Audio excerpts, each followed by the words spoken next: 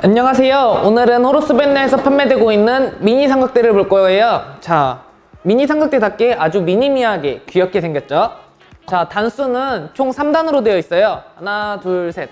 자, 미니 삼각대라도 어느 정도의 높이는 나와줘야 이제 사용하시기에 불편함이 없겠죠? 자, 각도는 이렇게 하나, 둘, 셋. 3단계로 조정을 할 수가 있어요. 자, 이렇게 마- 매우 낮은 앵글로 촬영하고 싶다면은 제일 끝단에 걸어주시면 되겠죠?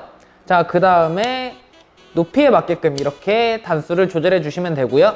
단수를 조절하실 때는 삼각대를 다리를 이렇게 살짝 내려서 눌러주신 다음에 올려주시면 한 방에 되고요.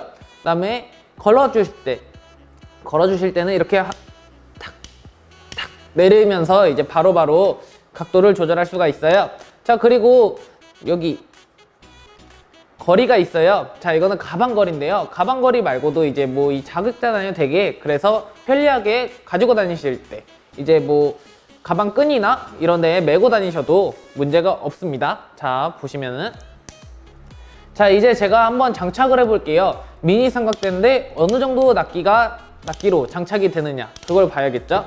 자, 보레드는 따로 손님들이 가지고 계신 거나 아니면은 또 다른 거를 구매하시면 되세요. 8분의 3인치로 공통 규격. 어느 보레드든 맞으니까 참고해 주시고요. 자, 이렇게 장착을 했어요. 자, 이렇게 장착을 한 뒤에 이렇게 카메라를 장착해 주면 의외로 높다는 생각이 들죠? 미니 삼각대인데. 자, 거기서 이제 이렇게 각도를 조절해 주시는 거예요. 각도를 이렇게 조절해 주시면은 자, 엄청 낮아졌죠? 자, 여기서 이제 촬영을 하실 때 이렇게 앵글에 맞게끔 자, 여기에 피사체가 있다고 생각하고 여기에다가 맞춰서 이렇게 찍으시면 되세요. 자, 미니미 해가지고 어디든 여행용이든 갖고 다니기 편한 삼각대예요.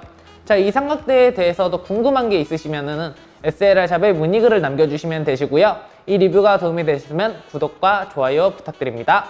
감사합니다.